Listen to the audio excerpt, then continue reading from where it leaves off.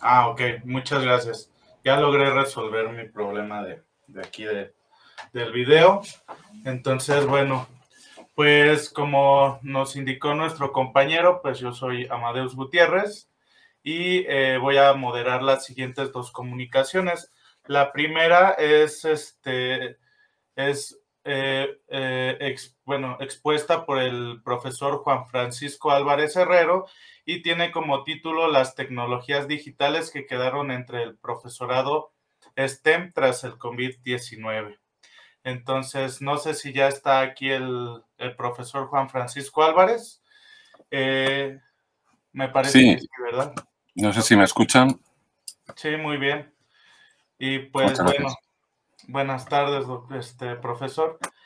Eh, nada más, antes de comenzar, voy a dar una breve semblanza de, del profesor Juan Francisco. El profesor Juan Francisco es profesor ayudante doctor en la Facultad de Educación de la Universidad de Alicante, España. Trabaja dentro del área de didáctica de las ciencias experimentales y forma parte del grupo de investigación Hidu Edutic In, eh, que está, y, bueno, sus intereses están centrados en la investigación en la competencia digital docente, las competencias digitales, las competencias docentes, la formación de formadores, la didáctica de las ciencias experimentales, las metodologías activas, la robótica educativa y el pensamiento computacional la tecnología educativa y todo lo relacionado con la implementación de las tecnologías digitales en aula. Y cuenta con, un, con más de un centenar de publicaciones de impacto sobre dichos temas. Y bueno, entonces, este, si gusta, profesor, puede comenzar con su comunicación. Muchas gracias. Eh, buenas tardes. Aquí en España, buenas noches. Como muy bien ha dicho, mi intención es presentar eh, la comunicación, las tecnologías digitales que quedaron entre el profesorado STEM tras la COVID-19. Es una investigación basada en, España, pero que creo que se puede trasladar muy bien a, cualquier región. Eh, como bien sabemos, eh, la pandemia de la COVID-19 y más concretamente el confinamiento que se produjo a nivel mundial entre pues, eh, diferentes regiones han sido diferentes fechas, pero aquí en España fue entre marzo y junio de 2020, hizo que las tecnologías digitales pues, fuesen muy necesarias en el ámbito educativo para tratar de sobrellevar de la mejor manera posible los procesos de enseñanza-aprendizaje. Aquí en España nos pilló con el curso a mitad, eh, nos quedaban tres meses de curso académico y eso, pues para no perder el curso, pues se tuvo que, como decía, se tuvo que implementar la enseñanza online, no presencial. Durante dicho confinamiento, pues, eh, y en los meses posteriores al mismo, docentes de todas partes, de, todas las etapas, tuvieron que, que autoformarse, ¿no? buscarse un poco cómo llevar adelante el proceso de enseñanza-aprendizaje eh, con el uso de las tecnologías para las que en un principio pues, eh, mucha gente no, estaba del todo preparada. Y es que, eh, aunque se ha hecho, aquí en España me consta que se ha hecho muchísima formación en las TIC, en las tecnologías de la información y la comunicación, y que el profesorado pensaba tener una competencia digital docente bastante elevada, pues eh, cuando todo esto ocurrió eh, eh, se dio cuenta de que las expectativas que tenían acerca de su competencia digital estaban muy por encima de la que realmente tenían y que por tanto no pudieron del todo sobrellevar esta situación lo mejor posible. Lo mismo ocurrió con, los discentes, con el alumnado. También ellos pensaban tener una competencia digital que luego no era la, adecuada para poder llevar esto, como decía, eh, de la mejor manera.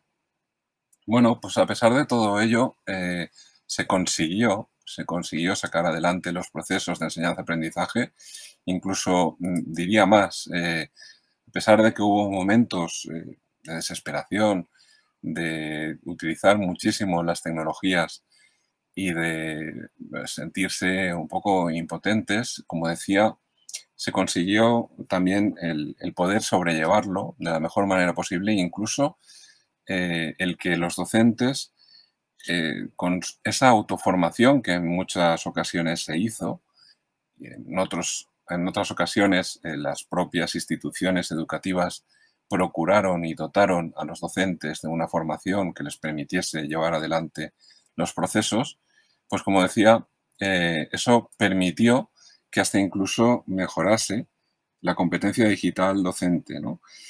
Y, que se dotase a los docentes pues, de recursos y de estrategias para el uso y la implementación de las tecnologías digitales en el aula. Bien, una vez pasado pues, todo esto del confinamiento, lo más duro de la pandemia y, y ahora ya con la vuelta a las clases presenciales, pues eh, a pesar de que muchas voces hablaban de que si las tecnologías digitales habían venido para quedarse y de que eh, pues habría eh, un cambio entre los docentes a la hora de, llevar los procesos de enseñanza-aprendizaje, ha generado también muchas dudas, ¿no? Ha generado dudas en el sentido de que realmente los docentes siguen utilizando, después de haber pasado lo más duro de la pandemia, las tecnologías o han vuelto a la forma tradicional, magistral de dar clase. Esa es un poco la, idea, el objetivo que nos marcamos en esta investigación, ¿no? Tratar de comprobar si se ha producido una consolidación del uso de las tecnologías digitales en el aula y más concretamente hacerlo con asignaturas de las áreas STEM, es decir, de ciencia, tecnología, ingeniería y matemáticas, y en la etapa de eh, alumnado de secundaria. O bien, si por el contrario se ha vuelto, como se sospecha y como muchas voces alertan, se ha vuelto a la clase tradicional cuyo único recurso utilizado en los procesos de enseñanza-aprendizaje es el tradicional libro de texto. Eh, con este objetivo, como decía, nos embarcamos en esta investigación y para ello contamos con 41 docentes de secundaria de las áreas STEM de una región de aquí de España, que es la Comunidad Valenciana, que eh, tomaron parte de un curso de formación eh, sobre el uso de las tecnologías digitales en las aulas eh, de las áreas STEM. Antes de empezar dicha formación, se pasó un cuestionario a los 41 docentes eh, y eh, a posteriori también se volvió a pasar el, mismo cuestionario. ¿no? Este cuestionario costaba una serie de preguntas con las que tratábamos de, comprobar esto. ¿no? Y una eh, muy clarificadora, muy directamente entroncada con lo que sería el objetivo de la investigación, venía a decir esto mismo, ¿no? En una escala del 1 al 10, 1 para nada o muy poco y el 10 para mucho en todo momento, indica para estos dos momentos concretos, y son dos momentos que vienen definidos como A, durante el confinamiento, y B, tras la vuelta a las clases presenciales, el uso que hacías, haces de las tecnologías digitales. Con esto pretendíamos comprobar si eh, ese uso que estábamos diciendo de las tecnologías ha perdurado después de eh, haber pasado lo más duro de la, pandemia del coronavirus o si bien eh, ese uso ha desaparecido. ¿no?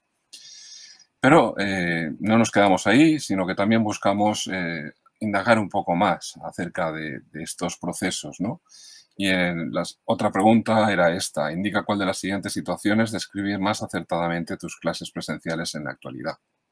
Y tenían cinco posibilidades, desde pues, utilizar básicamente el libro de texto y la realización de actividades, problemas, proyectos, etcétera, que es la clase magistral típica, tradicional de toda la vida, hasta el otro extremo que sería, pues utilizo únicamente recursos digitales, tanto en línea como residentes en los dispositivos tecnológicos que usamos, que sería la mm, solución completamente digital, eh, solución completamente tecnológica. Y entre eh, uno y otro extremo, pues eh, tres situaciones donde la central sería la, la intermedia, un 50%, podríamos decir, de la utilización del libro de texto y recursos analógicos de, toda la vida, de siempre, y un 50% de la utilización de la tecnología digital. Bien, eh, también quisimos eh, tener dos preguntas abiertas para que el profesorado pudiese eh, expresarse y decir pues, aquellas cuestiones que, que, le habían resultado como pues, aquellas razones por las que no usa o no usaría las tecnologías digitales en sus clases, así como también las razones por las que usa o usaría las tecnologías digitales en, su clase.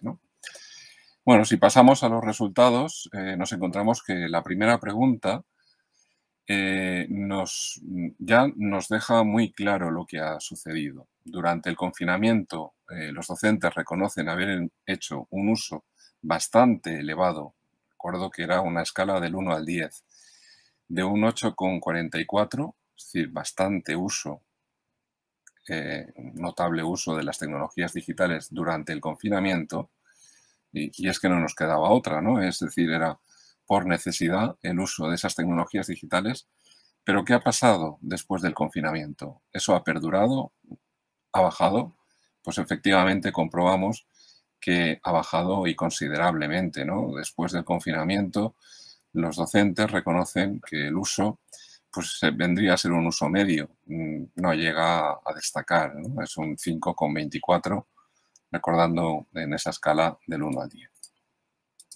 Respecto a la otra pregunta, aquella en la que se trataba de comprobar pues, eh, qué, mm, qué metodología o mm, qué estrategias habían utilizado después del confinamiento, eh, si la, habían vuelto a la tradicional por completo o si se habían quedado con eh, las tecnologías digitales por completo o cualquiera de las situaciones centrales o eh, intermedias que comentábamos antes.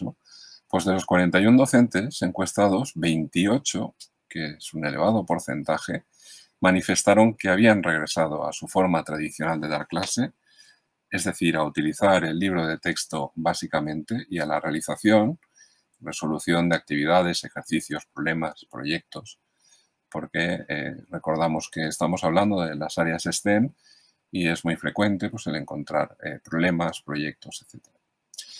Solamente hubo eh, nueve profesores, nueve docentes que reconocieron hacer un uso intermedio, es decir, un 50% el libro de texto y otro 50% eh, los recursos digitales y uno solo, un solo docente eh, se había pasado a dar por completo eh, sus clases utilizando únicamente los recursos digitales. Los tres docentes que restan, hasta 41, pues presentaban respuestas intermedias, estas que decíamos que están entre la central y los extremos. Bien, pues eh, también nos quedaba unas dos últimas preguntas, eh, recuerdo eh, que eran preguntas abiertas en las que los docentes tenían que dar aquellas razones por las que no usarían o no usan las tecnologías digitales, así como aquellas razones por las que sí las usan o las usarían en sus clases. Entre las razones por las que no usan o, perdón, no usan o no usarían las tecnologías, el, el profesorado insiste mucho en que las ven como peligrosas, como que pueden ser objeto de adicción entre el alumnado, de crear distracción o incluso de, de ser un poco persistentes en las motivaciones y aprendizajes que conllevan.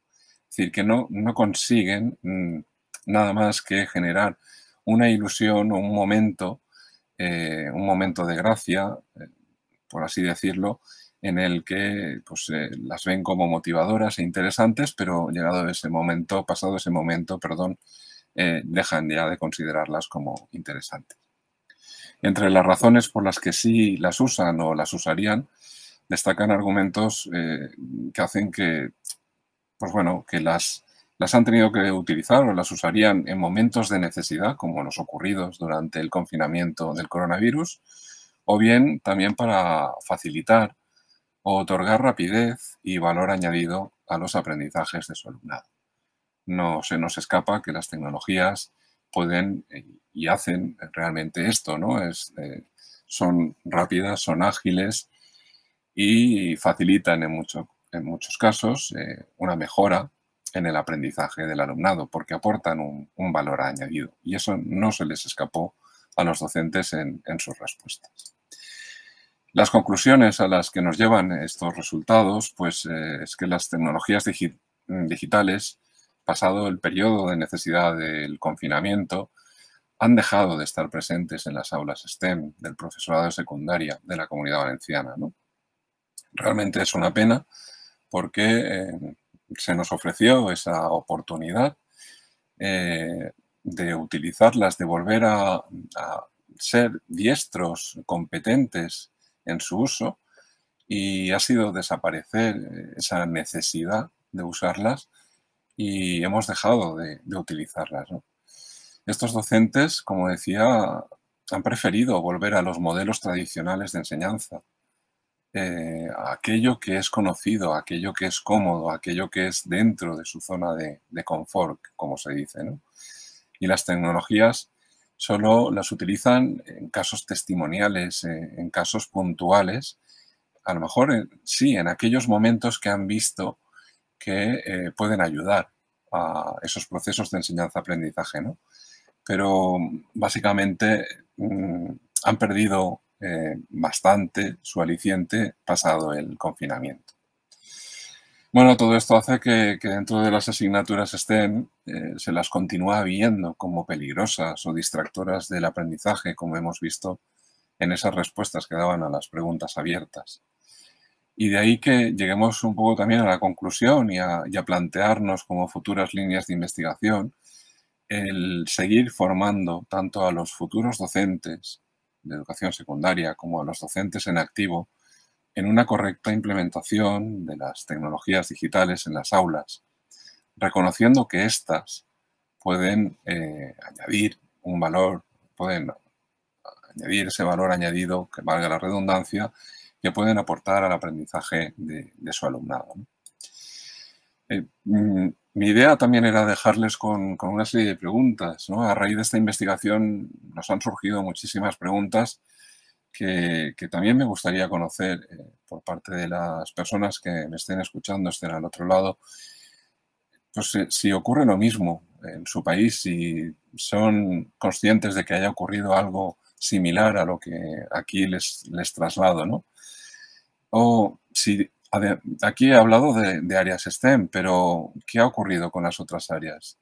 ¿Tienen conocimiento de, si en las otras áreas ha ocurrido lo mismo? Yo les puedo decir que aquí en España y en, la región de la que les estoy hablando, en la comunidad valenciana, en otras áreas, por ejemplo en las áreas lingüísticas, eh, pues ha venido a pasar más o menos lo mismo. Es decir, muchos docentes han vuelto a su forma tradicional de dar clase y no han aprovechado esa oportunidad que decía antes de darle un vuelco, un cambio a la educación, cuando se nos ha presentado esta oportunidad y no la hemos sabido aprovechar, y es una pena. Asimismo, pues bueno, eh, puestos a no ser tan derrotistas y tratar de ser un poco más optimistas, estoy seguro de que algo de tecnología digital ha quedado, de que seguro que algunas cuestiones, algunas cosas que hemos mm, conocido, que hemos aprendido eh, mediante, en el momento del confinamiento, pues eh, las hemos vuelto a utilizar, las seguimos utilizando a posteriori. ¿Qué tecnologías digitales eh, estamos utilizando? Y por hacer un poco así la broma, como si fuese lo que el viento se llevó, ¿qué tecnología digital el coronavirus se llevó? Porque hay tecnología que también la utilizábamos antes del coronavirus y que después, una vez pasado lo peor del coronavirus, eh, el coronavirus se lo ha llevado y ya no, la, no las utilizamos.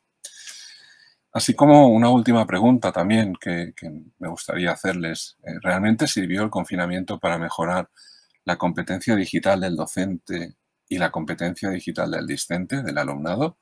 o es todo un espejismo? Eh, volvemos a estar un poco como, como les comentaba antes, ¿no? Con, unas expectativas de decir, ah, no, yo he pasado por un confinamiento, he utilizado la tecnología digital y ahora soy un experto en ello. ¿Realmente eso mm, es así o, o estamos, eh, perdonen la expresión, fanfarroneando de que ahora mm, tenemos esa destreza. Bueno, y hasta aquí mi intervención. Eh, espero que les haya resultado interesante. Voy a permanecer atento a las preguntas, comentarios que tengan hacerme. Muchas gracias por su atención y sigo aquí para lo que gusten, necesiten. Muchas gracias por su presentación, profesor. Sí, de hecho es un tema bastante interesante esto de, de qué tanto mejoró, en qué nos ayudó el aprender a utilizar las tecnologías digitales para mejorar el proceso de enseñanza-aprendizaje en lo que podría llamarse ahora el aula de clases o en esta interacción eh, a través de, de una computadora o un dispositivo digital.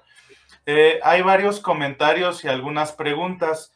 Eh, los voy a ir leyendo en el orden en el que me aparecen y si quiere dejamos un apartado de cuatro o cinco minutos para, para, estas, para estos comentarios y ver si alguno de, las, de los colaboradores que están siguiendo la comunicación pues puede este, dio respuesta a alguno de, estas preguntas que nos planteó, ¿no? Entonces, bueno, la el primer comentario es de Marta Patricia y dice, no hay mucha certeza de lo que está pasando o pasó en general, pero creo que los docentes tuvieron que utilizar recursos sin grandes planificaciones, tomar lo que estuvo a la mano prácticamente por ello. En esta nueva normalidad habría que hacer los ajustes necesarios modelar adecuadamente esas propuestas utilizadas que surgieron durante la pandemia. Eh, otro, otro colaborador dice, a su consideración, ¿qué haría falta para que los docentes se atrevan a seguir en el uso de la tecnología como parte de su labor? Bueno, pues eh, muchas gracias por, los comentarios, por las preguntas. Eh, mm, respondiendo a esta última, yo creo que, lo mejor sería, pues como apuntaba en las conclusiones, una, adecuada formación, ¿no? Y una formación que no estuviese centrada, como ha ocurrido muchas veces, en las herramientas, sino que estuviese centrada en la metodología. Es decir, cómo podemos aprovechar estas tecnologías digitales en nuestra aula para mejorar el aprendizaje haciendo una implementación, un uso correcto de las mismas y que esa formación eh, siga eh, pues esas, esas, directrices, ¿no? El, dar estrategias, el, no solamente dar recursos y explicar cómo funcionan esos recursos, sino cómo ese recurso lo puedo implementar yo en mi clase para mejorar el aprendizaje de un contenido cualquiera. ¿Usted cuál, considere, cuál consideraría que es la ventaja del uso de estas tecnologías, profesor? Como alguna en específico que, a usted le sirva en lo personal. Sí, eh, yo por ejemplo, eh, una, herramienta que, sí que aconsejo y que, mejora muchísimo mi, competencia digital docente y que desde el momento en que la descubrí no dejo de, utilizarla y de actualizarla. no sé si la conocen, es una herramienta que se llama Simbaloo, que nos permite generar un, tablero, que la herramienta se llama WebMix, y en ese tablero puedo poner una serie de botones, de iconos, que eh, me pueden llevar a diferentes páginas. Y ese tablero, ese WebMix, con los diferentes botones que me llevan a diferentes páginas, yo lo tengo establecido en, mi navegador como página de inicio. De tal manera que cuando yo arranco eh, mi ordenador y abro el navegador, lo primero que me aparece es esta, esta página de inicio con el webmix, con todas las herramientas, con todas las páginas web que suelo visitar o que necesito para, para mi profesión docente y eso me facilita muchísimo el, tener de, un plumazo, de un vistazo, eh, todo aquello que, voy a necesitar. Y eso, eh, como decía, lo voy variando, lo voy mejorando, lo voy actualizando porque eh, las diferentes herramientas o las diferentes páginas web que, voy a utilizar en un futuro van a ser diferentes a las que estoy utilizando en la actualidad. Y esta herramienta, cuando en formaciones a docentes la he presentado, es una herramienta que triunfa mucho y que, como decía, eh, sirve para mejorar la competencia digital del docente. Y es más, se puede también enseñar a nuestro alumnado para que también ellos la utilicen. Sí, tiene razón. De hecho, eh, parecido a, esta aplicación que usted utiliza y de hecho algo, algo más común es el uso de las herramientas que nos da Gmail. Y en Gmail hay distintas plataformas, plataformas que nos permiten pues recibir, por ejemplo, las tareas de los alumnos, dejar las presentaciones que se utilizaron durante clase guardadas ahí y eh, por un lado se elimina toda esta estrategia que nosotros llevábamos a cabo de revisar este, las tareas en físico, este, no tener archivadas adecuadamente nuestras tareas y, de hecho todo lo demás que tiene que ver con, eh, interactuar con el, con el alumno, ¿no? Mediante distintas estrategias. Como usted lo dice, en esos iconos pueden acceder a cualquiera de las actividades que usted ya planeó para sus clases. Eh, hay algunas otras preguntas que nos llegan, ¿no? Y es, por ejemplo, eh, dice, Hola a todos, entiendo entonces que en el caso que se plantea ah, para usted el modelo híbrido quedaría desarmado o hay alguna esperanza para que se pueda seguir fomentando.